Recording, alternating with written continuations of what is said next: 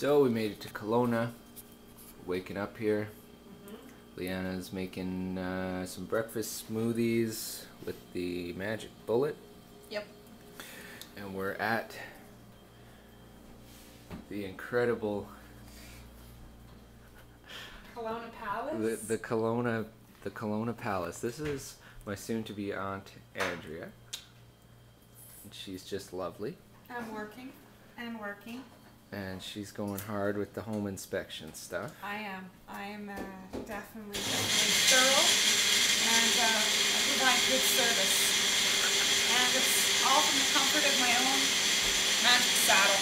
The ergonomic magic saddle. It's great for your back. It twists around.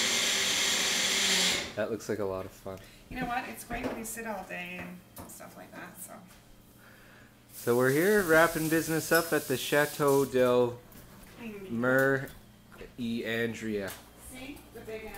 The big the big M for Mer over there. That's right.